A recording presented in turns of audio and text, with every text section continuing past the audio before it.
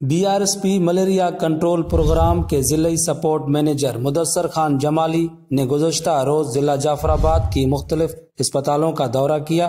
दौरे के मौके पर उन्होंने बीएचयू और सिविल डिस्पेंसरियों का रिकॉर्ड भी चेक किया। इस मौके पर सहाफ़ियों से बातचीत करते हुए मुदसर खान जमाली ने कहा कि जिला जाफराबाद की अस्पतालों में मलेरिया से बचाव की अद्वियात मुफ़्त फराम कर रहे हैं ताकि मलेरिया के अमराज में कमी हो सके।